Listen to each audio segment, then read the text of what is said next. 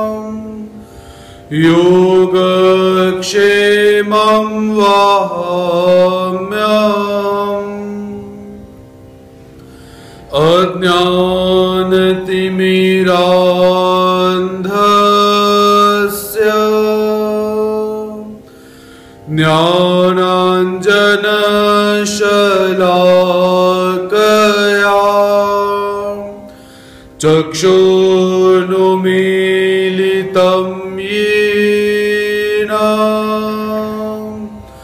तस्मै श्रीगुरुवे नमः। श्री गोपाल कृष्ण महाराज की जय।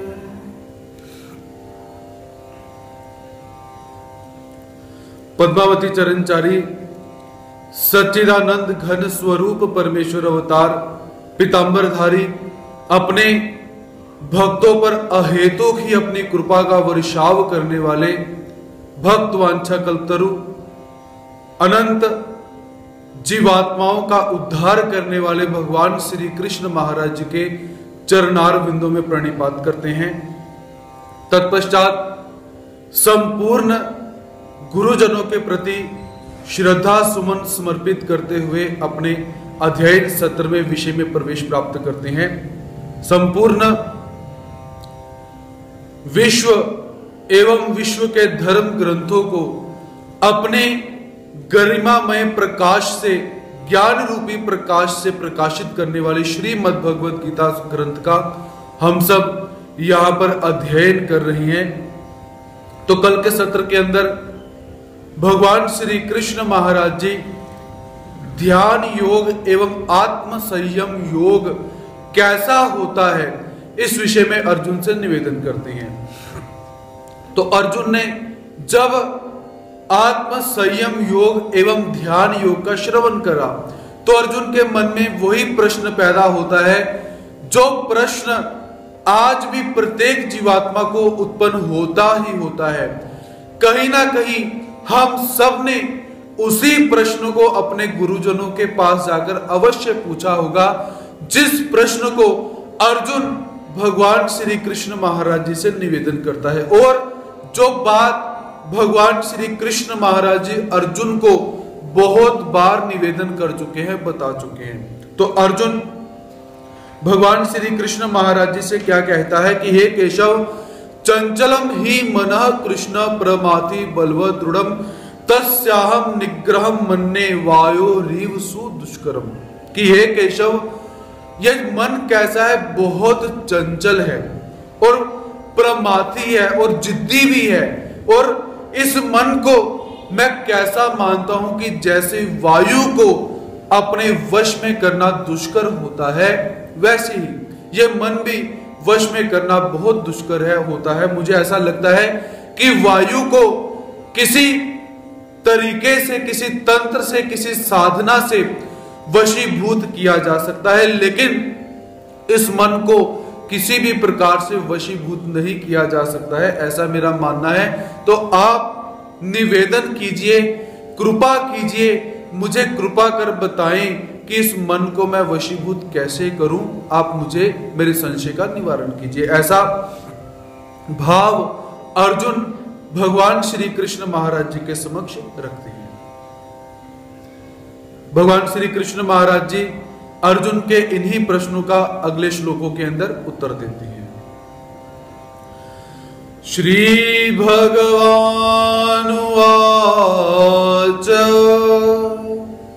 श्री भगवान बोले, असंशय महाबाहो, मनो दुर्निर्ग्रहं चलम्। अभ्यासेन तु कौन्तेय, वैराग्येन च गृह्यते। असंशयम महाबाहो मनो दुर्निर्ग्रहम। चलम। अभ्यासेन तू कौनतेय, वैराग्येन च गृह्यते। भगवान श्री कृष्ण महाराज जी कहते हैं, हे महाबाहु हे अर्जुन, मन यह मन कैसा है? चलम। बड़ा चंचल है और दुर्निर्ग्रहम इसका निग्रह करना भी कैसा है? बहुत कठिन है। इसे वश में करना भी बहुत नितांत कठिन है। असंशयम। यह तुम्हारा कहना बिल्कुल ठीक है। तू परंतु कौनते हे कुंती नंदन। अभ्यासेन च वैराग्यन। इस मन को वश में करने के लिए दो प्रकार के साधन मिलते हैं। पहला है अभ्यासेन। इस मन को तो अभ्यास के द्वारा अपने वशीभूत कर। और वैराग्यन, वैराग्य के द्वारा भी तू अपने इस मन को वशीभूत कर। वैराग्यन च इसका निग्रह किया जा सकता है। परमात्मा निवेदन करते हैं कि, हे अर्जुन ये जो मन है, जैसा तू कहता है कि इस मन को वशीभूत करना बहुत कठिन है, लेकिन फिर भी कैसा है? इस मन को अभ्यास के द्वारा और वैराग्य के द्वारा इसे वशीभूत किया जा सकता है, इसका निग्रह किया जा सकता है, ऐसा परमात्मा यहाँ पर निवेदन करते हैं। तो भगवान श्री कृष्ण महाराज जी अर्जुन को यहाँ पर महाबाहु और कौनते इन दो नामों से भगवान जी बुलाते हैं। तो पहला महाबाहु शब्द बुलाने का तात्पर्य क्या है? कि हे अर्जुन, तू कैसा है? शूरवीर है। और जो शूरवीर होते हैं, वह किसी भी कार्य को असंभव नहीं मानते। तू महाबाहु शूरवीर होने के नाते तेरा स्वभाव कैसा होना चाहिए कि प्रत्येक कार्य को करने की क्षमता तेरे अंदर होनी चाहिए और धैर्य पूर्वक प्रत्येक कार्य को करना चाहिए, ऐसा परमात्मा महाबाहु अर्जुन को बोलकर अर्जुन को जतलाना चाहते हैं, संकेत करना चाहते हैं। इसके पश्चात भगवान श्री कृष्ण महाराज जी अर्जुन को दूसरे नाम से संबोधित करते हैं कौनतेय कौनतेय अर्थात, हे कुंती नंदन, जैसे माता कुंती सभी प्रकार के भोगों से विरक्त हो चुकी है।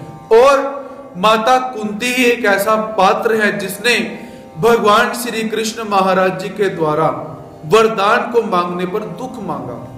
क्योंकि दुख जब जब आएगा, तब तब मन परमात्मा में लगेगा, ऐसा भाव माता कुंती का था। विपद संतु कि हे केशव, मुझे विपद प्राप्त होते रहे, ऐसा माता कुंती कहती है परमात्मा से तो भगवान जी, अर्जुन को कौनते इस शब्द से यही जतलाना चाहते हैं कि हे अर्जुन, जैसे तेरी माता भोगों से विरक्त है, उसने अपने मन को वशीभूत किया हुआ है और अपने मन को परमात्मा में लगा, लगाई लगा कर रखा हुआ है तो तू भी अपने मन को अभ्यास और वैराग्य के द्वारा क्या है? परमात्मा में लगाने का प्रयास कर। अब अभ्यास किसे कहते हैं? अभ्यास अर्थात प्रैक्टिस। बार बार जब हम किसी चीज़ का आवर्तन करते हैं, एक ही चीज़ को बार बार जब दोहराया जाता है, उसे अभ्यास कहा जाता है।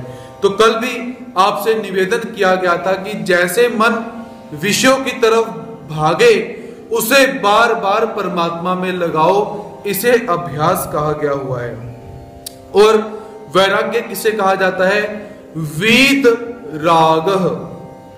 जिसका राग समाप्त हो चुका हुआ है, उसे वीत राग बोल सकते हैं। और उसकी भावना को वैराग्य कहा जाता है। वैराग्य अर्थात सांसारिक प्रत्येक वस्तुओं से, प्रत्येक वस्तुओं में राग इच्छा समाप्त हो चुकी है, जिसकी उसे वैरागी कहा जाता है, उसे वैराग्य कहा जाता है। तो परमात्मा अर्जुन से यही निवेदन करते हैं कि हे अर्जुन, अभ्यास और वैराग्य के द्वारा इस मन को वशीभूत किया जा सकता है, इसका निग्रह किया जा सकता है। उसके लिए शक्ति एवं युक्ति, अभ्यास एवं वैराग्य इन तत्वों की आवश्यकता होती है। जब जीवात्मा इन वस्तुओं की प्रैक्टिस करता है तो वो मन को अपने वशीभूत कर सकता है। ऐसा भगवान श्री कृष्ण महाराज जी यहाँ पर अर्जुन को समझाते हैं। असंयतात्मना योगो दुष्प्राप्य इति मे मति, वश्यात्मना तु यतता। शक्यो वाप्तुमुपायत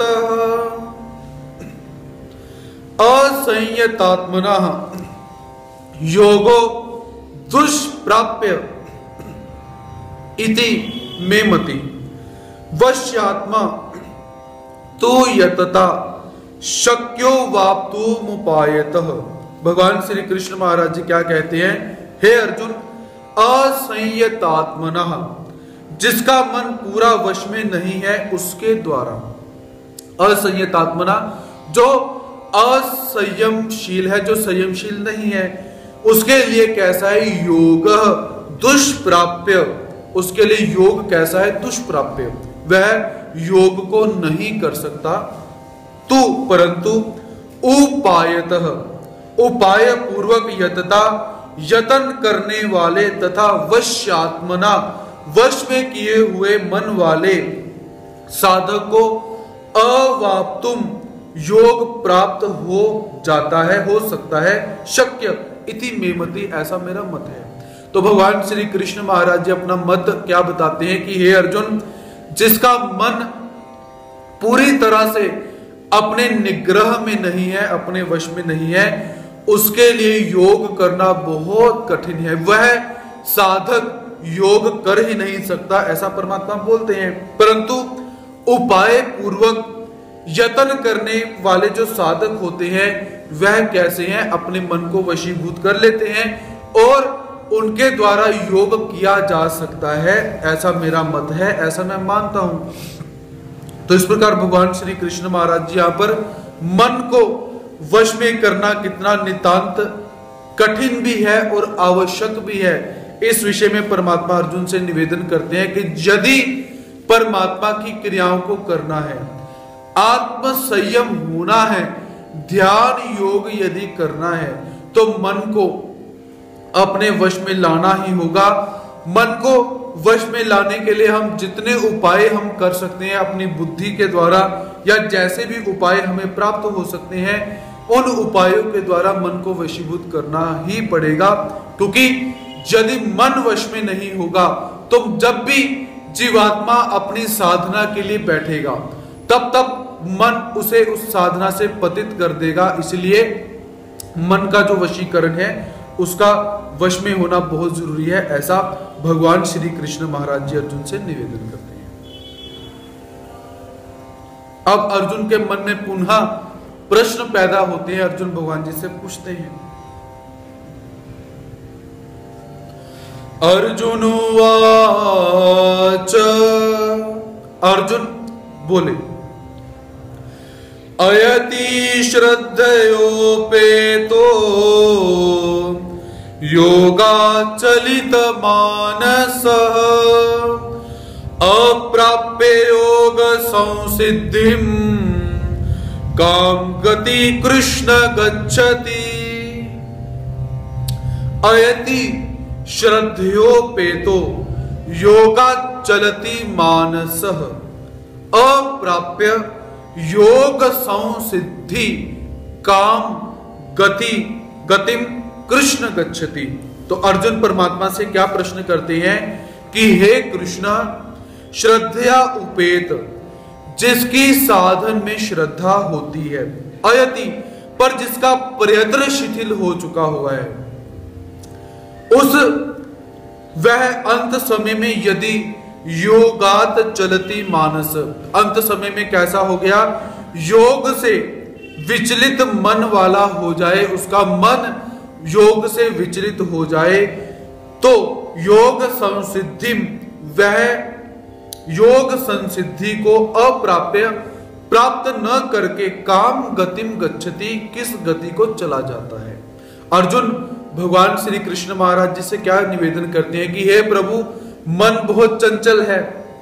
किस समय कैसा भाव उत्पन्न हो जाए, ये कहा नहीं जा सकता। जो ध्यान योगी है, जो शब्द ज्ञानी है, उसके विषय में यहाँ पर चर्चा चलती है। तो जिसकी साधक की साधन में और परमात्मा में श्रद्धा है, पूरी श्रद्धा से युक्त होकर परमात्मा का आचरण करता है। लेकिन जिसका प्रयत्न कैसा हो चुका है, शिथिल हो चुका है, ढीला हो चुका है, वह साधक मन के वशीभूत हो चुका हुआ है और अपने योग से चलायमान हो चुका है, विचलित हो चुका हुआ है। उस योग संसिद्धि साधक की योग तो उसे प्राप्त हुआ नहीं तो ऐसे साधक की काम गति गच्छति, वह साधक किस गति को जाता है, ऐसा मेरा प्रश्न है। तो अर्जुन ने भगवान जी से प्रश्न पूछा हुआ है कि मान लीजिए साधक साधना करने के लिए बैठा हुआ है, आजीवन उसने साधना करी, लेकिन अंतिम समय में क्या हुआ? मन चलायमान हुआ, मन विचलित हुआ और वह अपनी साधना से कुछ नीचे गिर जाता है। तो हे प्रभु, उसकी गति क्या होगी? उसे कौन सा फल मिलेगा? ऐसा अर्जुन भगवान श्री कृष्ण महाराज जी से प्रश्न करता है। और आगे उसी प्रश्न को आगे बढ़ाते हुए अर्जुन क्या बोलते हैं? कच्चिन्नो भय विभ्रष्ट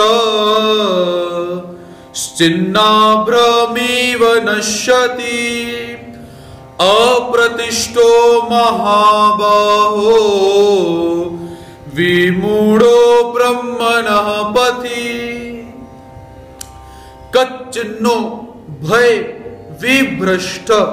छिन्ना भ्रमीव नश्यति, अप्रतिष्ठो महाबाहो, विमूढ़ो ब्रह्मणापथि हे कृष्ण, हे महाबाहु, अप्रतिष्ठ, संसार के आश्रय से रहित ब्रह्मण पति परमात्मा के मार्ग से, परमात्मा के मार्ग में विमूढ़, मोहित अर्थात विचलित हुआ, उभय विभ्रष्ट। इन दोनों तरफ़ से भ्रष्ट हुआ साधक। कच्चित किस? क्या छिन्ना भ्रम इव छिन्न भिन्न बादल की तरह न नश्यति, नष्ट तो नहीं हो जाता? अर्जुन क्या कहते हैं कि, हे प्रभु, यह साधक कैसा है कि संसार के आश्रय से रहित हो चुका हुआ है? और परमात्मा प्राप्ति के मार्ग से भी कैसा है? ये विचलित हो चुका है। संसार का आश्रय इसने धारण नहीं करा। परमात्मा के मार्ग से ये विचलित हो चुका हुआ है। ऐसा दोनों तरफ़ से भ्रष्ट हुआ साधक। जैसे एक बादल जो होता है, वह बादल कैसा है? छिन्न भिन्न होकर नष्ट हो जाता है। तो क्या ये साधक भी छिन्न भिन्न होकर नष्ट हो जाता है? ऐसा अर्जुन भगवान श्री कृष्ण महाराज जी से पूछते हैं। तो अर्जुन भगवान जी से क्या पूछते हैं कि, हे प्रभु, ये जो साधक है, इसने संसार का आश्रय छोड़ दिया हुआ है, देवता भक्ति इसने छोड़ दी है। संसार का आश्रय धारण करता, देवता भक्ति करता तो शायद इसे स्वर्ग इत्यादि प्राप्त हो जाते। लेकिन इसने संसार का आश्रय पूरा छोड़ दिया हुआ है, देवता भक्ति इसने की ही नहीं तो इसे स्वर्ग इत्यादि प्राप्त नहीं होंगे। और दूसरी तरफ़ परमात्मा के मार्ग में ये चला। लेकिन परमात्मा के मार्ग में भी अच्छी तरह से वो साधन नहीं कर पाया, उसका मन विचलित हो गया। तो हे प्रभु, ये साधक कैसा है ना देवताओं को प्राप्त हुआ। देवताओं के सुखफल भी इसे नहीं मिले और परमात्मा का मोक्ष भी इसे नहीं मिला। तो क्या ये साधक नष्ट हो जाता है? जैसे बादल अपने टुकड़े को छोड़कर आगे निकला, लेकिन आगे दूसरा टुकड़ा बादल का नहीं मिला तो वो बादल कैसा है? आसमान में नष्ट हो जाता है। तो हे प्रभु, क्या ये साधक दोनों तरफ़ से नष्ट हो जाता है? ऐसा मेरा प्रश्न है, आप मुझे इसका निवारण कीजिए। एतन्मे संशयं कृष्ण चेतुमर्हस्य शेषतः। त्वदन्यः संशयस्यास्य चेता न ह्युपपद्यते। और अर्जुन परमात्मा से क्या निवेदन करते हैं? ए तन्मे संशयम कृष्ण चेतुमर्हस्य शेषतः। त्वदन्य संशयस्यास्य चेता न ह्युपपद्यते। हे कृष्ण, मैं एतत् संशयम अशेषतः चेतुम अर्हसी। मेरे इस संशय का, संदेह का अशेषतः अर्थात सर्वथा छेतुम छेदन करने के लिए अर्हसी, केवल आप ही योग्य हैं। ही, क्योंकि अस्य संशय इस संशय का छेता छेदन करने वाला आपके सिवाय तो अन्य आपके सिवाय न उपपद्यते, कोई दूसरा हो ही नहीं सकता। अर्जुन क्या कहता है कि, हे प्रभु, मेरे इस संदेह का सर्वता छेदन करने के लिए आप ही योग्य हैं। आपके अतिरिक्त इस भूमंडल पर मुझे और कोई भी दिखाई नहीं देता, जो मेरे इस संशय का निवारण कर सके। ऐसा अर्जुन भगवान श्री कृष्ण महाराज जी से निवेदन करता है। तो यहाँ पर अर्जुन को कहीं ना कहीं भगवान श्री कृष्ण महाराज पर ईश्वर प्रतीति हो चुकी है, ऐसा हम देख सकते हैं। इसीलिए अर्जुन क्या बोलते हैं कि आपके अतिरिक्त इस संसार के अंदर मैं किसी को भी नहीं देखता हूँ जो मेरे इस संशय का निवारण कर सकते हैं, ऐसा अर्जुन यहाँ पर भगवान श्री कृष्ण महाराज जी को बोलते हैं, क्योंकि जो संपूर्ण प्राणियों की उत्पत्ति और प्रलय को, गति और अगति को एवं विद्या और अविद्या को जानता है, उसे भगवान कहा जाता है। ऐसा हमें श्री विष्णु पुराण और नारद पुराण के अंदर प्राप्त होता है। तो अर्जुन कहीं ना कहीं ये जान चुका है कि भगवान श्री कृष्ण महाराज जी कैसे हैं उत्पत्ति करने वाले हैं और विनाश करने वाले भी यही हैं, गति देने वाले भी यही हैं, अगति देने वाले भी यही हैं, विद्या को प्रदान करने वाले भी यही हैं और अविद्या का नाश करने वाले भी यही है, ऐसा अर्जुन यहाँ पर भाप चुका हुआ है। तो इसलिए अर्जुन, संपूर्ण समर्पण करते हुए भगवान श्री कृष्ण महाराज जी को कहता है कि, हे प्रभु, आपके अतिरिक्त मेरे इस संशय का निवारण कोई नहीं कर सकता है। अब हम ये समझे कि अर्जुन अज्ञानी है। क्या अर्जुन ने वेद आगम शास्त्रों का अध्ययन नहीं किया? ऐसा प्रश्न उपस्थित हो रहा है। लेकिन नहीं, अर्जुन कैसा था? अर्जुन सकल सामग्री वंत अर्जुन ने वेद, पुराण, उप, उपनिषद इत्यादि सारे के सारे ग्रंथ, ग्रंथों का अभ्यास किया हुआ है। लेकिन अर्जुन यहाँ पर किस प्रश्न को उपस्थित करता है? जो प्रश्न केवल परमात्मा ही बता सकते हैं, जो प्रश्न ब्रह्म विद्या शास्त्र से संबंधित है। अर्जुन यहाँ पर यह समझ चुके हैं कि जिस शास्त्र का मैंने अध्ययन करा, वो शास्त्र कोई और है। और जिस शास्त्र को ये श्री कृष्ण परमात्मा निवेदित करते हैं, ये शास्त्र कोई और है ये अलग अलग चीज़ें हैं जो मुझे समझ में नहीं आती हैं। इसीलिए परमात्मा की ब्रह्मवाणी को सुनते सुनते अर्जुन परमात्मा को ब्रह्म समझना शुरू करते हैं, क्योंकि परमात्मा की दिव्य वाणी को जैसे अर्जुन ने सुना तो अर्जुन को भी कहीं कहीं पर लगता है कि ये ज्ञान तो मैंने आज तक पढ़ा ही नहीं। जिस तत्व की बात ये केशव करते हैं, ये श्री कृष्ण करते हैं, इस तत्व को मैंने आज तक कहीं सुना ही नहीं है। तो इसीलिए ये जो प्रश्न पैदा होता है यह प्रश्न भी कैसा है? अन्य ग्रंथों के अंदर मुझे प्राप्त नहीं होता है। ये तो केवल भगवान श्री कृष्ण महाराज जी ही समझा सकते हैं। ऐसा अर्जुन भगवान श्री कृष्ण महाराज जी को बोलता है। श्रीभगवानुवाच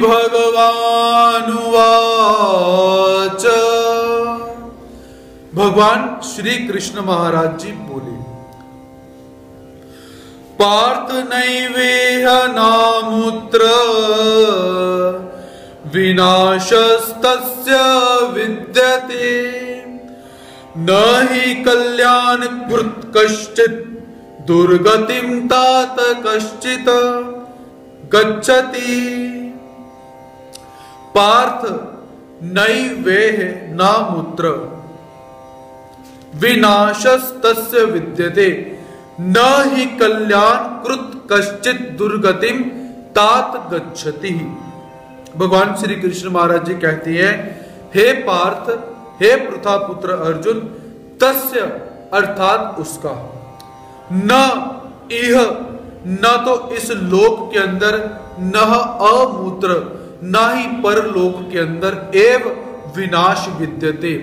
उस साधक का, जिसकी गति कैसी है, जो देवताओं को भी प्राप्त नहीं हो पाया और परमात्मा के मार्ग से भी वो विचलित हो चुका है। उस साधक का ना तो इस लोक में विनाश होता है और ना ही परलोक के अंदर उसका विनाश होता है। ही क्योंकि तात, हे प्यारे कल्याण कृत कल्याणकारी काम करने वाला कश्चित कोई भी मनुष्य दुर्गति न गच्छति, दुर्गति को प्राप्त नहीं होता है। भगवान श्री कृष्ण महाराज जी कहते हैं कि हे अर्जुन, उस साधक का ना तो इस लोक के अंदर नाश हो सकता है और ना ही परलोक के अंदर नाश हो सकता है। क्योंकि हे प्यारे, जो व्यक्ति कल्याणकारी कार्य करते हैं, उन मनुष्यों की दुर्गति कभी नहीं होती है, ऐसा भगवान श्री कृष्ण महाराज जी अर्जुन को यहाँ पर बताते हैं। तो यहाँ पर जिस साधक का वर्णन हम सुन रहे हैं। उस साधक को योग भ्रष्ट कहा जाता है। भगवान श्री कृष्ण महाराज जी भी यहाँ पर योग भ्रष्ट की बात करते हैं और भगवान श्री चक्रधर स्वामी जी ने भी इस विषय को बहुत अच्छी तरह से स्पर्श करके समझाया हुआ है। तो योग भ्रष्ट जो होता है, जिसका योग समाप्त नहीं हुआ, लेकिन कुछ कम हो चुका हुआ है, ऐसा योग भ्रष्ट। जैसे एक पोथी है एक पुस्तक है। उस पुस्तक को पानी में हमने रखा या उसके ऊपर पानी पड़ गया तो पानी पड़ने के पश्चात क्या है, उसके आधे अक्षर मिट जाते हैं, लेकिन आधे अक्षर वहाँ पर उसके ऊपर पड़े हुए हैं। तो हम उन अक्षरों को बहुत कठिनाई से पढ़ सकते हैं तो ऐसा पूरा नहीं समाप्त हुआ थोड़ा थोड़ा समाप्त हो चुका हुआ है, उसे योग भ्रष्ट कहा जाता है। उसका योग पूरा समाप्त नहीं हुआ, लेकिन थोड़ा थोड़ा समाप्त हो चुका है। ऐसा हम जान सकते हैं। तो ऐसा योग भ्रष्ट जो होता है, उसकी गति क्या होती है, ये प्रश्न अर्जुन ने यहाँ पर किया हुआ है। तो योग भ्रष्ट कैसे हो जाता है, पहले थोड़ा सा इसके विषय में विचार करते हैं कि साधन जिसका कम रह जाए। अब साधन क्या होता है, स्मरण करना कि कोई शब्द ज्ञानी जिसने विकार विकल्प हिंसा का अंगीकार नहीं किया, लेकिन स्मरण उसका कम रह जाता है, तीन घंटे वह स्मरण नहीं कर पाता है। ऐसा जो साधक होता है, उससे उसकी मृत्यु हो जाती है, स्मरण का अभाव रह जाता है तो उसे योग भ्रष्ट कहा जाता है। तो उसे आगे जाकर योग भ्रष्ट का देह मिलता है, जिसके अंदर वो अपना स्मरण संपूर्ण करके पुनः संबंध को प्राप्त कर जाता है। इसके अतिरिक्त ब्रह्म विद्या शास्त्रों के सिद्धांत हमें योग भ्रष्ट के विषय में और भी बहुत सारे प्राप्त होते हैं। तो उन्हें अधिक स्पर्शित न करते हुए श्रीमद भगवत गीता के अनुसार ही हम आगे देखते हैं। तो ऐसा जो योग भ्रष्ट हो जाता है, उसकी गति क्या होती है? देवताओं का साधन भी उसे प्राप्त नहीं हुआ और परमात्मा का मोक्ष भी उसे प्राप्त नहीं हुआ। तो उसकी गति क्या होती है योग भ्रष्ट की, उसके विषय में परमात्मा यहाँ पर निवेदन करते हैं। प्राप्य पुण्य कृताम लोकान, उषित्वा शाश्वती समा शुचिना श्रीमताम गेहे, योगो भ्रष्टो भी जायते प्राप्य पुण्य कृतान लोकान उषित्वा शाश्वती समह शुचि नाम श्रीमताम गेहे योगो भ्रष्टो भी जायते। तो भगवान श्री कृष्ण महाराज जी क्या कहते हैं कि हे अर्जुन, योग भ्रष्ट, वह योग भ्रष्ट। पुण्य कृताम पुण्य कर्म करने वालों के लोकान लोगों को प्राप्य प्राप्त होकर और शाश्वती ही वहाँ बहुत वर्षों तक शाश्वती समाह अर्थात बहुत वर्षों तक उषित्वा निवास करके फिर रह करके शुचि नाम, अर्थात जो शुद्ध समता से युक्त लोग होते हैं, जो शुद्ध सात्विक लोग होते हैं, उनके घर में श्रीमताम, जो श्रीमंत होते हैं, द्रव्य संपन्न होते हैं उनके घर में गेहे अर्थात घर में अभिजायते जन्म लेता है। योग भ्रष्ट की गति क्या होती है? सबसे पहले जो योग भ्रष्ट हो जाएगा तो योग भ्रष्ट परमात्मा क्या कहते कि बहुत समय तक प्राप्य पुण्य कृतान लोकान, जो पुण्य लोक कहे गए हैं, जो इंद्रादिक देवताएँ हैं, ब्रह्मादिक देवताएँ हैं, या जो योग भ्रष्ट को लोक प्राप्त होता है माया विश्वजा माया के जो लोग हम बोलते हैं, चिज्जड़ फल इत्यादि, जहाँ पर एक करोड़ वर्ष, दो करोड़ वर्ष वर्ष और तीन करोड़ वर्ष तक यह योग भ्रष्ट वहाँ पर निवास करके, वहाँ पर आनंद करके फिर क्या करता है? उसका दोबारा इस संसार में जन्म होता है। पहले जो परमात्मा के समान शक्तियों में जिसकी तुलना की जाती है ऐसी माया। उस माया के लोक को प्राप्त होकर योग भ्रष्ट कैसी है? अपने भेद के अनुसार कोई योग भ्रष्ट एक वर्ष, एक करोड़ साल तक निवास करता है। कोई दूसरा भेद का जो होता है, वो दो करोड़ वर्ष तक वहाँ पर निवास करता है। कोई तीसरे भेद का जो होता है, वो तीन करोड़ वर्ष तक वहाँ निवास करता है। ऐसा उसे सुख फल मिलता है। उसके पश्चात पुनः इस संसार में आकर उसका एक ऐसे व्यक्ति के घर में जन्म होता है जो कैसा है? शुचि नाम। जो परिवार कैसा होगा? शुद्ध होगा, सात्विक होगा, धार्मिक क्रियाओं को करने वाला होगा और कैसा श्रीमंत। श्रीमंत अर्थात उनके पास सात्विक धन होगा, संपत्ति होगी, पैसे होंगे, सब कुछ उनके पास रहेगा, ऐसा जो परिवार होगा उस परिवार के अंदर इस योग भ्रष्ट का जन्म होता है, ऐसा भगवान जी यहाँ पर बोलते हैं। तो शुचि नाम श्रीमताम के जिनका धन शुद्ध कमाई का होता है, जो सभी पराए हक के धन को नहीं लेते हैं, जिनका आचरण भाव शुद्ध रहता है, भोगों की तरफ़ जो अलिप्त नहीं होते, जो संत स्वभाव के व्यक्ति होते हैं, उन्हें शुद्ध और श्रीमान कहा जाता है। तो ऐसे साधक के घर में योग भ्रष्ट का जन्म होता है और वो पुनः अपने योग को करने के लिए उद्यत हो जाता है, ऐसा भगवान श्री कृष्ण महाराज जी यहाँ पर निवेदन करते हैं।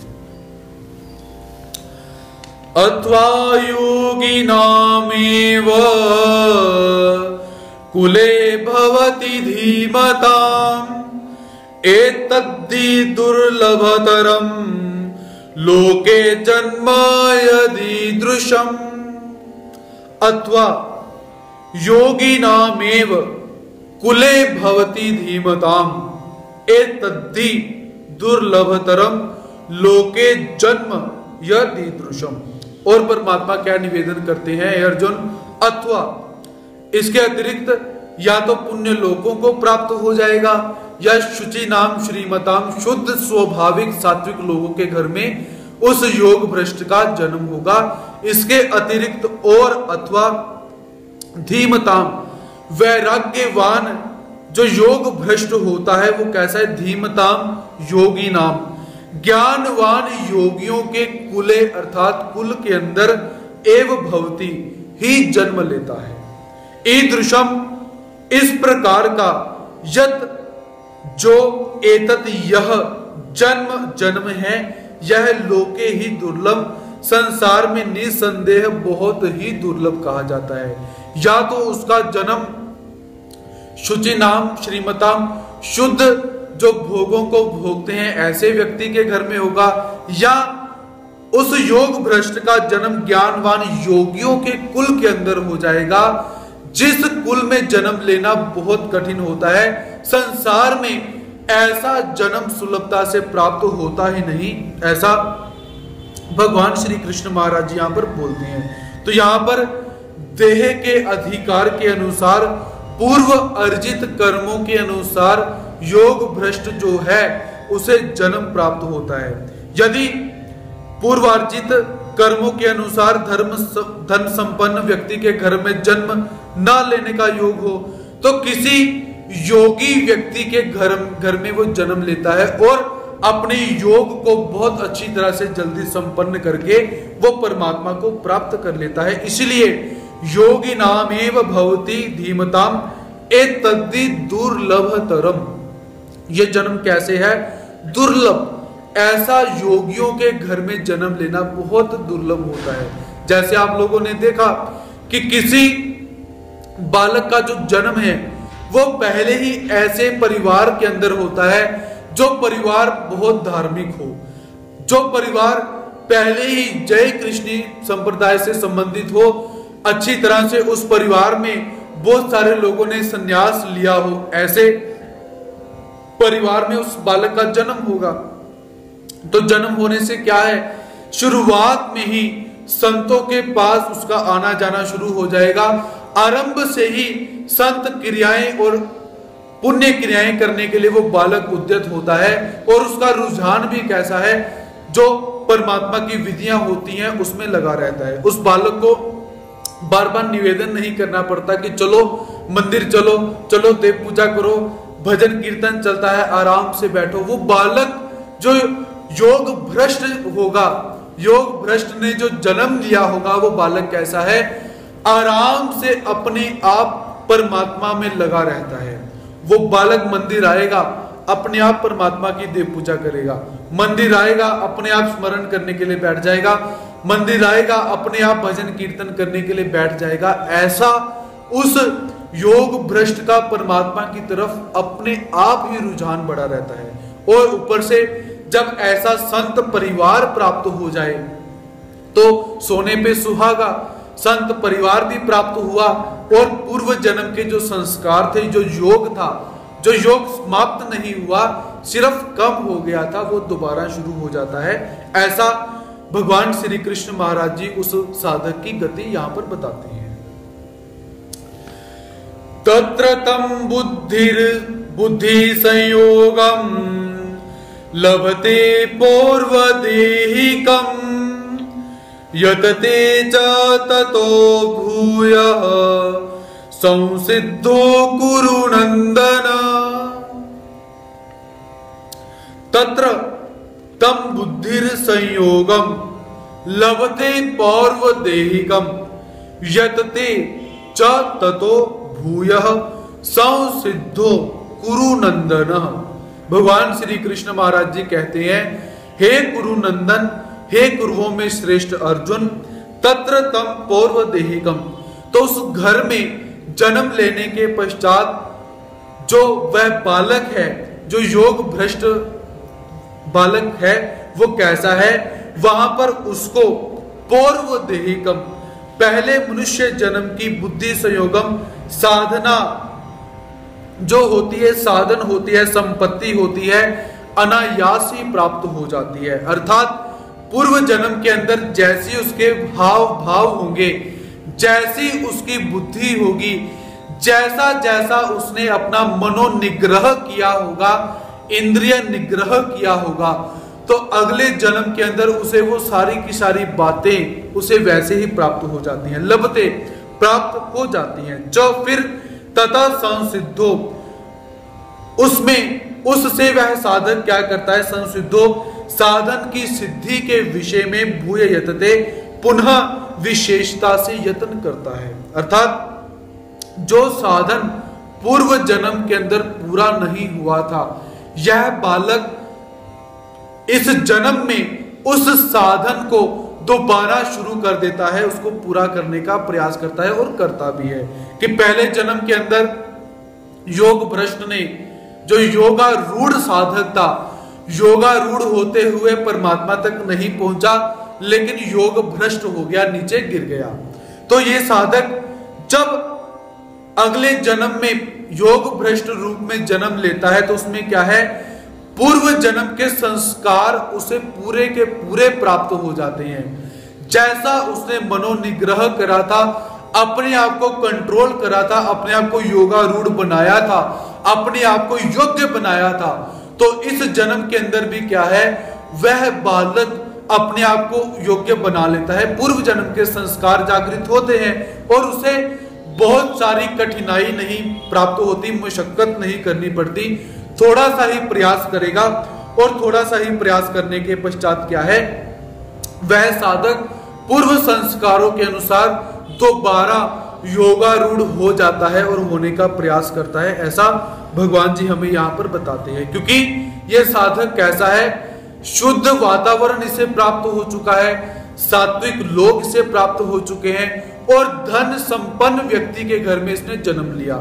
तो धन संपन्न व्यक्ति के घर में जन्म लेने का कारण क्या है? ये क्यों परमात्मा ने कहा? क्योंकि इसे किसी वस्तु का अभाव नहीं है। मन में किसी वस्तु को प्राप्त करने की लालसा नहीं रहेगी, क्योंकि सारी की सारी वस्तुएँ इसे प्राप्त हो चुकी हैं। और यदि योगियों के घर में ये बालक पैदा होता है तो उसमें क्या है? किसी वस्तु का वहाँ भी अभाव नहीं है, और सात्विक वातावरण उस बालक को प्राप्त हो जाता है। तो इसलिए परमात्मा क्या बोलते हैं कि वह अपने साधन में लगा हुआ, अपने साधन को, जो साधन उसका पूर्व जन्म के अंदर अधूरा रह गया था, उसी साधन को, उसी योग को, इस जन्म के अंदर यह योग भ्रष्ट जो बालक है, दोबारा पूरा करने के लिए प्रयास करता है। ऐसा भगवान जी यहाँ पर बोलते हैं।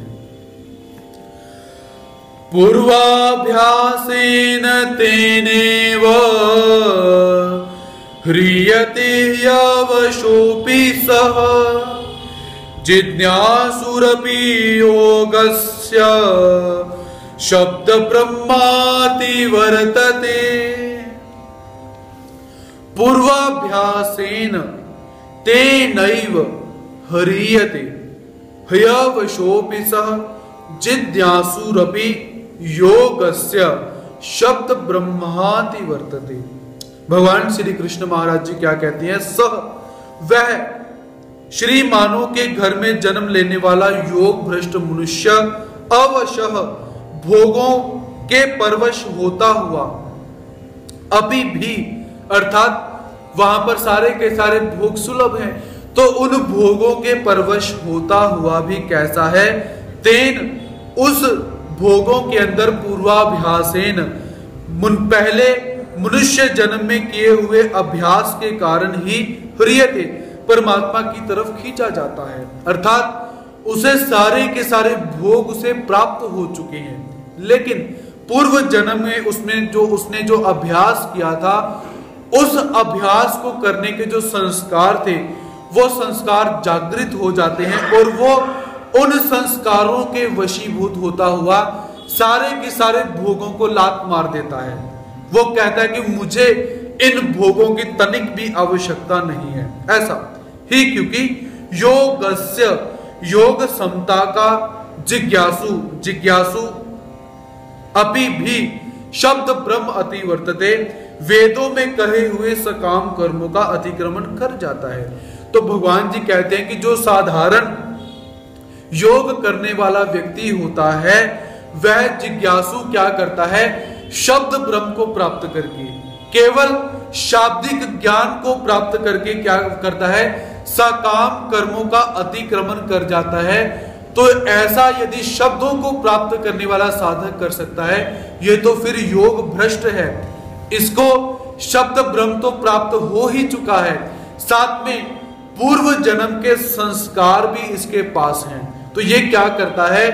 क्षण के अंदर, एक समय के अंदर सभी भोगों को साइड पर करके अपने अभ्यास को, अपने साधन को दोबारा शुरू करता है और दोबारा शुरू करके मोक्ष मार्ग पर योगारूढ़ होने का प्रयास करता है और योगारूढ़ होकर परमात्मा को प्राप्त भी कर लेता है। तो व्यवहार के अंदर आप लोगों ने देखा होगा कि कुछ ऐसे सन्यासी, बाल ब्रह्मचारी सन्यासी, जिनके पास घर में प्रत्येक वस्तु सुलभ होती है, उन्हें प्रत्येक वस्तु प्राप्त होती है, घर में सुख, वैभव, संपदा सब कुछ है। किसी बात की कोई कमी नहीं।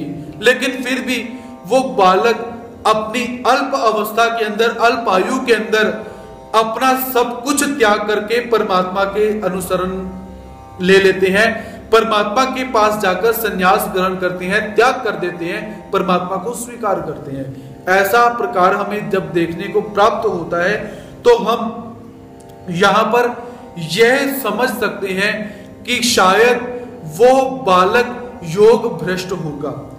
ऐसा हम अपने मत के अनुसार, बुद्धि के अनुसार हम समझ सकते हैं कि उसका पूर्व जन्म के अंदर साधन पूरा नहीं हुआ। अब वह केवल अपने साधन को पूरा करने के लिए उसने जन्म लिया हुआ है।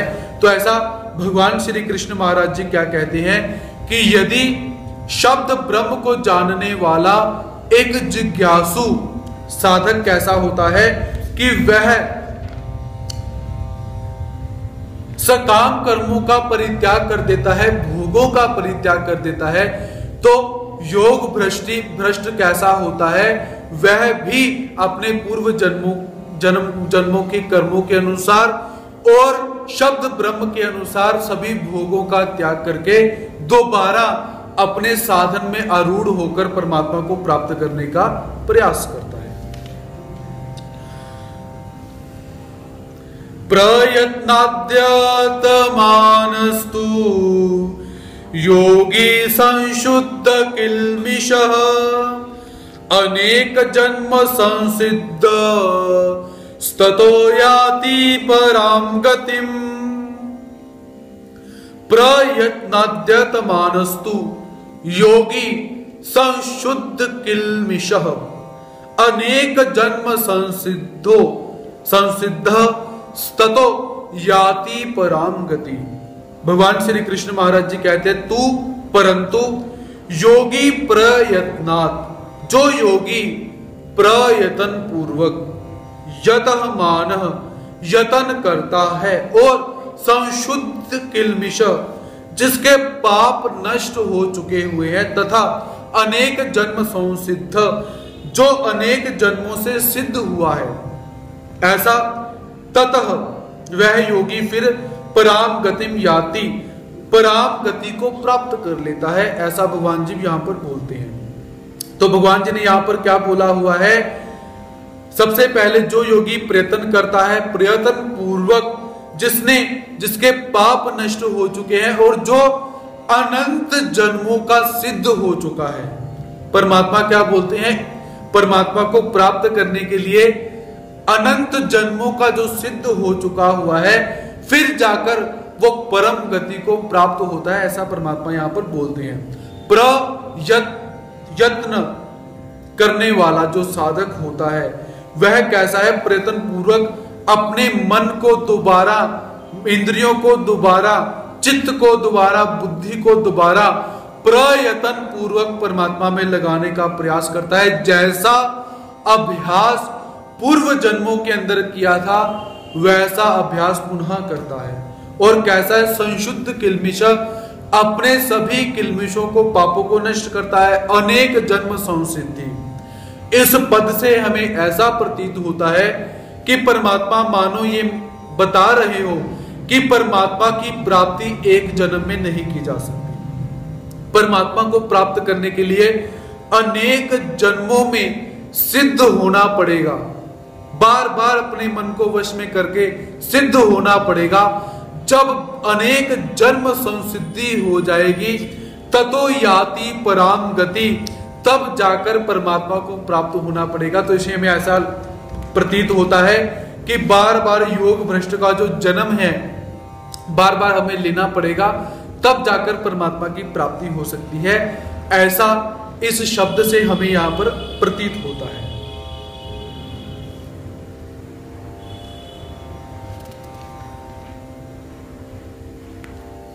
आगे परमात्मा निवेदन करते हैं तपस्वी भ्योधिको योगी, ज्ञानीभ्योऽपि मतोऽधिकः कर्मीभ्यश्चाधिको योगी तस्मा योगी भवार्जुन।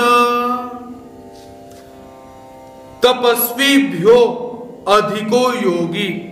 ज्ञानीभ्योपि मतोधिक कर्मीभ्यश्चाधिको योगी, तस्मात् योगी भवर्जुन। हे अर्जुन, तपस्वी सकाम कर्म करने वाले जो तपस्वी होते हैं, उन तपस्वियों से भी योगी अधिक। जो निष्काम कर्म योगी होता है, वो अधिक श्रेष्ठ होता है। ज्ञानी भ्यश्च अपि अधिक और ज्ञानियों से भी जो योगी है, वो श्रेष्ठ माना गया हुआ है। जो कर्मी भ्यश्च योगी अधिक। जो कर्मियों, कर्म योगी होते हैं, जो कर्मी होते हैं, व्यवहारिक कर्म करने वाले होते हैं, वह उनसे भी जो योगी है, निष्काम कर्म योगी है, वो श्रेष्ठ होता है। जो सांख्य योगी है, वो श्रेष्ठ होता है। ऐसा मेरा मत है, मेरा मानना है। तस्मात अर्जुन योगी भव। इसीलिए, हे अर्जुन, तू भी योगी हो जा, तू भी योगी बन जा। परमात्मा यहाँ पर, अब अब तक परमात्मा ने अर्जुन को आदेश नहीं दिया हुआ है, केवल परमात्मा समझाते हैं। लेकिन इस श्लोक के अंदर परमात्मा अर्जुन को आदेश देते हैं। आदेश कौन सा? तस्मात, इसलिए, अर्जुन, हे अर्जुन, योगी भव, हे अर्जुन, योगी हो जा। परमात्मा को इस समय युद्ध से भी कोई लेना देना नहीं है।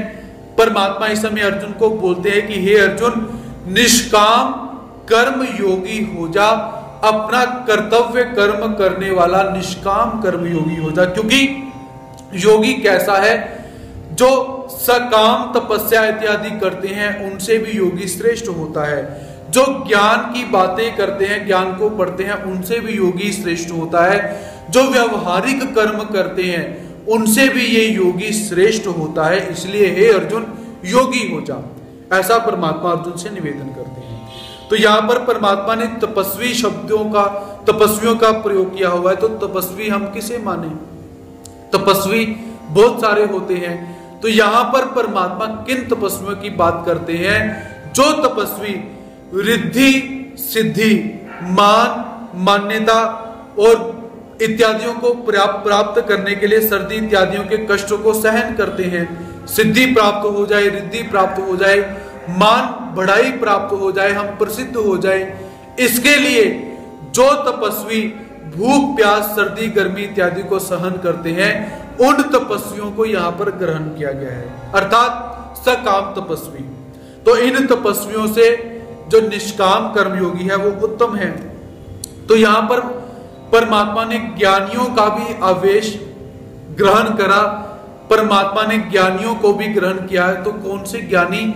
जो ज्ञानी केवल अपनी प्रसिद्धि के लिए ब्रह्म विद्या शास्त्र या व्याख्यान करते हैं, प्रवचन करते हैं, शास्त्रों को जानते हैं, विद्वान अपने आप को मानते हैं, उन ज्ञानियों का यहाँ पर परमात्मा निवेदन करते हैं। तो उन साकाम ज्ञानियों से भी जो कर्म योगी होता है, वो श्रेष्ठ होता है। उसके पश्चात कर्मी भ्य अर्थात जो व्यवहारिक कर्म करने वाले होते हैं, कि इस लोक के अंदर हमें राज्य मिल जाए, धन संपत्ति मिल जाए, हमें मान बढ़ाई इस राज्य के अंदर मिल जाए, हमारे पुत्र इत्यादि अच्छे हो, हमारी पत्नी इत्यादि अच्छी हो, और परलोक के अंदर जाकर हमें ऊँचे ऊँचे लोक मिल जाएँ ऐसे जो सोचकर व्यवहार करते हैं, उनको कर्मी, कर्मियों ऐसे शब्द से यहाँ पर परमात्मा बोलते हैं। तो इन सभी से जो निष्काम कर्मयोगी होता है, वो श्रेष्ठ होता है।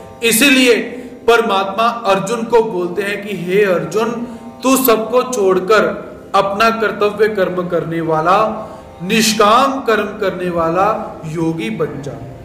और हमें भी परमात्मा यही बात बोलते हैं कि तुम सब भी जो निष्काम कर्मयोगी है, वो निष्काम कर्मयोगी बन जाओ। तो निष्काम कर्मयोगी बनने से क्या होगा? यदि कभी योग भ्रष्ट हो भी जाओ तो अगले जन्म के अंदर ये संस्कार तुम्हें प्राप्त हो जाएगा और इस संस्कार को बार बार प्राप्त करके तुम परमात्मा को प्राप्त कर सकते हो। ऐसा भगवान श्री कृष्ण महाराज यहाँ पर अर्जुन से निवेदन करते योगिनामपि सर्वेषां मद्गतेनान्तरात्मना। श्रद्धावान भजते यो माँ स मे युक्ततमो मतः।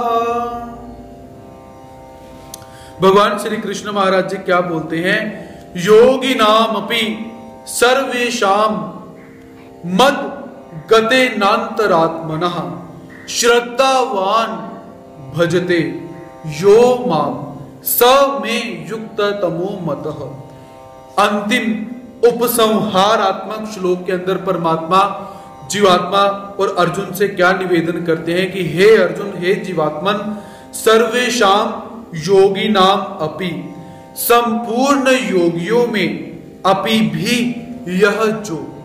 श्रद्धावान श्रद्धावान भक्त मद गतेन मुझमें तल्लीन हुए अंतरात्मा मन से माम भजते मेरा भजन करते हैं। स में मत युक्ततम। वह मेरे में मन को लगाए हुए कैसे हैं? सर्व, सर्वश्रेष्ठ योगी होते हैं। ऐसा मेरा मत है, ऐसा मैं मानता हूँ। परमात्मा क्या बोलते हैं कि, हे अर्जुन संपूर्ण योगियों के अंदर, जितने भी योगी मैंने तुझे बताए, ध्यान योगी, कर्म योगी, या सांख्य योगी, लय योगी आत्म संयम योगी, जितने भी योगियों का मैंने वर्णन किया हुआ है, उन सभी योगियों में से जो भी श्रद्धावान भक्त मुझमें तल्लीन हो जाता है, मुझमें तल्लीन हुए कैसे है, मेरा ही भजन करता है, वह मेरे को प्राप्त कर लेता है और वही श्रेष्ठ होता है, ऐसा भगवान श्री कृष्ण महाराज जी यहाँ पर बताते हैं। तो यहाँ पर परमात्मा जो प्रेमी भक्त होता है, जो भक्ति योगी होता है, उसका यहाँ पर निवेदन करते हैं। क्योंकि ज्ञान से प्रेम, ज्ञान से भक्ति प्रत्येक जगह पर सर्वश्रेष्ठ मानी गई है। तो परमात्मा मानो यहाँ पर बोलते हैं कि यदि तुमसे सांख्य योग नहीं होता, तुमसे कर्म योग नहीं होता, तुमसे लय योग नहीं होता, तुमसे संप्रज्ञात समाधि नहीं लगती, तुमसे असंप्रज्ञात समाधि नहीं लगती, तुमसे सविकल्पक समाधि नहीं लगती, निर्विकल्पक समाधि नहीं लगती, कोई बात नहीं। छोड़ दो परमात्मा बोलते हैं। लेकिन इनको छोड़कर तू एक काम कर। क्या काम करना है? श्रद्धावान। श्रद्धा से युक्त होकर मद गतेन अंतरात्मना, अपने अंतर मन से मुझमें तल्लीन हो जा, मेरे में तल्लीन हो जा। तो तुझे भक्ति योग करते प्रेम संचार के साधनों के से प्रेम का संचार हो जाएगा और तू शीघ्र शीघ्र मुझे प्राप्त हो जाएगा। ऐसा भगवान जी यहाँ पर प्रेम साधन का महत्व बताते हैं, क्योंकि जो ज्ञानी होगा अब तक हमने ज्ञानियों के लक्षण सुने। ये ज्ञानी को ये भी करना होता है, आहार नियंत्रण भी करना है, सोना भी समय पर है, उठना भी समय पर है, विषय विकारों से दूर भी रहना है, विधियों का पालन भी करना है, निषेधों से दूर भी रहना है, समाधि भी लगानी है, मन भी परमात्मा में लगाना है, बहुत कुछ करना है साधक को। तो परमात्मा बोलते हैं कि यदि ऐसा नहीं होता तो प्रेमी बन जा, क्योंकि प्रेमी को कुछ नहीं करना पड़ता। प्रेमी को सिर्फ़ एक ही काम करना पड़ता है कि परमात्मा में मन लगाना और 24 घंटे परमात्मा में ही मन लगाना। दूसरा काम उसे कोई नहीं है। खाएगा तो परमात्मा ने कौन सी वस्तुएँ खाई उनको याद करता हुआ खाएगा। सोएगा तो परमात्मा शयन कैसे करते हैं यदि वह सन्निधान में है तो? तो वो परमात्मा को याद करेगा, परमात्मा सोते कैसे हैं? उठेगा तो परमात्मा का नाम लेते हुए उठेगा, परमात्मा कैसे उठते हैं? दंत धावन करेगा, ब्रश करेगा तो परमात्मा को याद करेगा, परमात्मा दंत धावन कैसे करते थे? यदि किसी को व्याख्यान करेगा तो साथ में यह भी याद रखता रहेगा कि परमात्मा निरूपण कैसे करते होंगे। सामने भक्त बैठे हैं तो तब भक्तों को देखकर वो याद करेगा कि जब परमात्मा निरूपण करते होंगे, वो तो भक्त सामने कैसे बैठे होंगे? तो जब कहीं यातायात साधनों में जाएगा, कहीं बाहर घूमने के लिए जाता है तो परमात्मा को याद करेगा कि परमात्मा कभी बैलगाड़ी में बैठे होंगे। तो परमात्मा कैसे लगते होंगे? परमात्मा पालखी में जब बैठे होंगे, परमात्मा कैसे लगते होंगे? तो ऐसा प्रेमी भक्त कैसा है? उसके पास केवल एक ही काम है, परमात्मा को याद करना। दूसरा काम उसके पास नहीं है। इसलिए परमात्मा क्या बोलते हैं? ऐसा भक्ति योगी और ऐसा प्रेमी भक्त सबसे उत्तम कहा गया हुआ है। यदि ऐसा कष्टप्राय काम नहीं होता है तो प्रेमी बन जाओ। जैसे मीरा जी प्रेमी है या महादेव भक्त प्रेमी है, बाईसा माता जी प्रेमी है, रुक्मणी माता प्रेमी है, ये सब प्रेमी है। यहाँ परमात्मा ने इनको कौन सा ब्रह्म विद्या का ज्ञान बताया हुआ है? हंसो बाईसा जी प्रेमी है। इन्होंने पूर्व जन्म के अंदर प्रेम का अधिकार जोड़ा। प्रेमदायक क्रिया घटित हुई। परमात्मा ने प्रेम का संचार किया और चौबीसों घंटे परमात्मा को याद करते हैं। अपना मन परमात्मा में लगाकर परमात्मा के अंदर दत्त चित्त होकर रहते हैं। तो इसलिए परमात्मा तक पहुँचने के दो मार्ग हमें प्राप्त होते हैं। पहला ज्ञान मार्ग जो बहुत दुष्कर कहा जाता है जिससे गिरने के चांसेस बहुत सारे हैं। दूसरा, प्रेम मार्ग, भक्ति मार्ग, जिसमें सहजता, सुलभता, सरलता बहुत सारी है, परमात्मा को बहुत आराम से प्राप्त किया जा सकता है, ऐसा प्रेम मार्ग। तो अब प्रश्न हमारे समक्ष ये उत्पन्न होता है, ज्ञान मार्ग को कैसे प्राप्त करें, प्रेम मार्ग को कैसे प्राप्त करें? तो ये दोनों ही मार्ग हमें अन्नदान से प्राप्त होते हैं। जब निर्हेतुक अन्नदान किया जाए तो निर्हेतुक अन्नदान करते समय जैसे पात्र हमें प्राप्त होंगे, वैसे ही ज्ञान का अधिकार, प्रेम का अधिकार, बुद्धि इत्यादि हमें प्राप्त हो जाती है। जब हम संकट के समय किसी ऐसे संत को भोजन करवाते हैं जो बहुत भूखे हैं ऐसे संत को निष्काम भाव से भोजन करवाने से प्रेम का हमें अधिकार भी घटता है। ऐसे बहुत सारे प्रेम के अधिकार हैं। तो सबसे मुख्य घटक यही कि निष्काम होकर अन्नदान की क्रिया करते रहना चाहिए। क्रिएचा वाहो, ऐसा हमें शब्द प्राप्त होता है। आप ये कभी विचार मत करो कि हम अन्नदान यहाँ करेंगे तो हमें ज्ञान प्राप्त हो जाएगा। हम अन्नदान इनको करेंगे तो प्रेम प्राप्त हो जाएगा, बिल्कुल भूल जाओ। एक अपने जीवन की एक दिनचर्या बनाओ कि अन्नदान हमने करना ही करना है। संकट की घड़ी हो या सुलभता की घड़ी हो, कैसा भी समय हो, सुलभता की घड़ी में तो अवश्य करेंगे, लेकिन संकट की घड़ी में तो अवश्य करेंगे। जब हम निर्हेतुक क्रिएचा वाहो निष्काम अन्नदान की क्रिया करते ही रहते हैं, करते ही रहते हैं, करते ही रहते हैं। तो जब हमारी क्रिया बहुत बढ़ जाती है तो परमात्मा उस क्रिया के अंदर तो कभी कभी स्वयं आकर भोजन कर जाएँगे तो कभी कभी अपने भक्तों को भेजकर भोजन करवाएँगे, जिससे हमें मालूम भी नहीं रहेगा, हमें पता भी नहीं होगा, हमसे ज्ञान और प्रेमदायक क्रिया हमसे घटित हो जाएगी, और हमें आने वाले समय में ज्ञान और प्रेम साधन अपनी क्रिया के अनुसार हमें प्राप्त हो जाएँगे तो इसीलिए जो अन्नदान की क्रिया होती है, उसे करते रहना चाहिए। यह क्रिया संसार से तारने के लिए एक ही क्रिया है। अब देखिए, परमात्मा कितने दयालु हैं। कि परमात्मा एक, परमात्मा को भोजन करवाइए तो आपको प्रेम प्राप्त हो जाएगा प्रेमी भक्त को भोजन करवाइए वैसे संस्कार इत्यादि प्राप्त हो जाएँगे। तो हमारे परमात्मा कितने दयालु हैं कि 20, 25, 50 रुपए की भोजन की थाली के बदले अपना सर्वश्रेष्ठ साधन प्रेम साधन और ज्ञान साधन प्रदान करते हैं। ऐसा दयालु परमात्मा कहीं नहीं मिलने वाला। दिया लगाकर भी ढूंढ लीजिए प्रकाश लेकर भी ढूंढ लीजिए।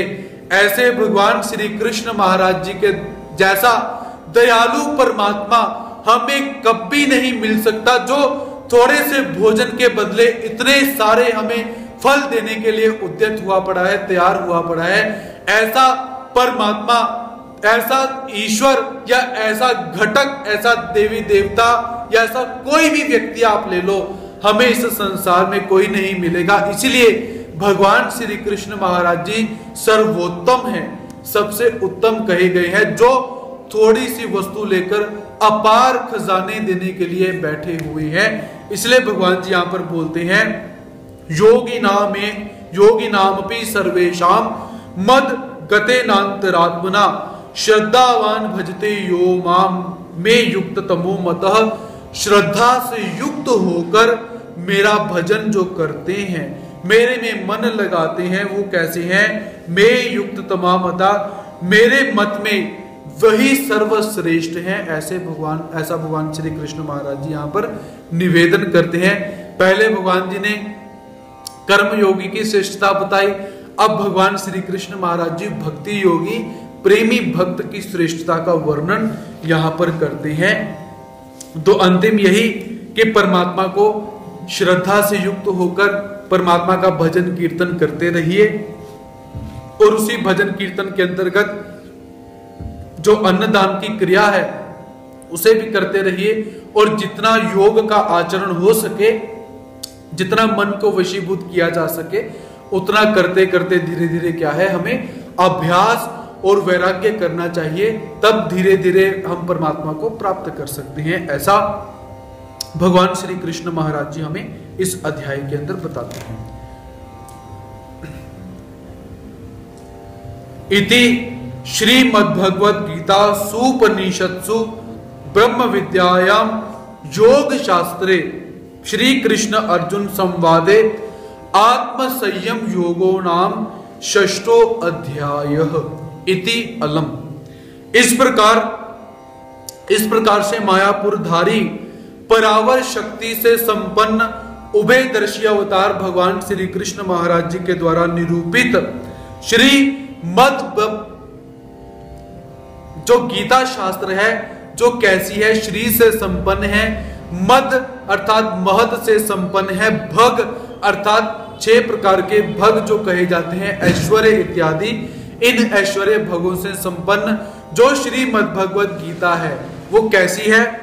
जिसमें से उपनिषदों ने सार को ग्रहण किया, जो ब्रह्म विद्या के तत्वों से भरी हुई है, जिसमें योग शास्त्र हमें प्राप्त होता है, ऐसी श्रीमद भगवत गीता, जो श्री कृष्ण और अर्जुन के संवादात्मक हमें प्राप्त होती है, उस श्रीमद भगवत गीता का आत्म संयम योग नामक, ध्यान योग नामक जो छेवा अध्याय है, छठा अध्याय है, यहाँ पर सफलता पूर्वक समाप्त होता है। तो इस अध्याय के अंदर हमें पाँच उवाच प्राप्त होते हैं, जिसमें से तीन श्री भगवान उवाच है और दो अर्जुन उवाच है। इस अध्याय के श्लोक सैतालीस श्लोक हैं, जिसमें से तीन, जिसमें से पाँच श्लोक अर्जुन के द्वारा बोले गए हैं और बतालीस श्लोक भगवान श्री कृष्ण महाराज जी के द्वारा बोले गए हैं। अनुष्टुप चंद के लक्षणों से युक्त ये छिवा अध्याय यहाँ पर समाप्त होता है।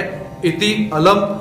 कल पुनः भगवान श्री कृष्ण महाराज जी के दिव्य तत्वों को लेकर आप सबके समक्ष उपस्थित होने का प्रयास रहेगा। तब तक अनंत कंद भगवान श्री कृष्ण महाराज जी के चरणार बिंदों में यही प्रार्थना सादर करते हैं कि हे प्रभु, हमारे लिए यदि ज्ञान आवश्यक हो तो हमें ज्ञान प्रदान करें। यदि हमारे लिए प्रेम आवश्यक हो तो हमें प्रेम प्रदान करें। तो हमें ऐसी निष्काम क्रियाएँ घड़वाते हुए, हमें ज्ञान और प्रेम प्रदान करते हुए हमें अपना स्वरूप का आनंद प्रदान करें, आपको हम प्रदान कर सके, आपका सन्निधान हम प्रदान कर सके। ऐसी भावना सादर करते हुए आज का अध्ययन सत्र यहीं पर समाप्त किया जाता है। सभी श्रोत्र वृंदों के प्रति प्रणति सादर करता हूँ। जय श्री कृष्ण दंडवत